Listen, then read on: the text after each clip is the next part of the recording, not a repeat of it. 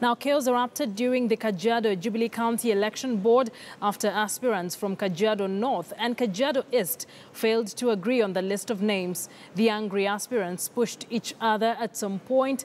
A parliamentary candidate is said to have punched a fellow aspirant.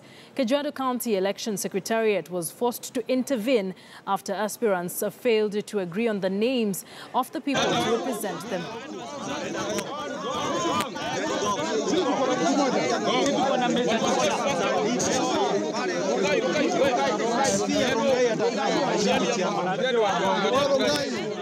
Wewe Joroge.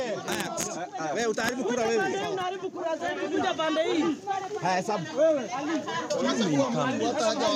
Panda penye unataka kutuletea. Ni pande ni ya.